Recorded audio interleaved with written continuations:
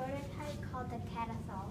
The problem was that cats would go under the sensor light and set it off, and we noticed that it wastes energy.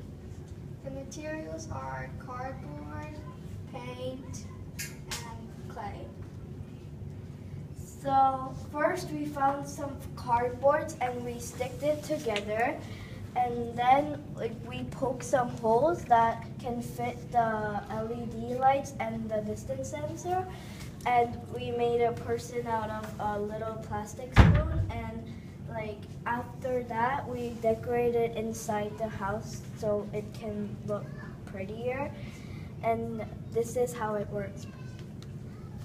So if a person goes in and the light turns on but but if a cat goes in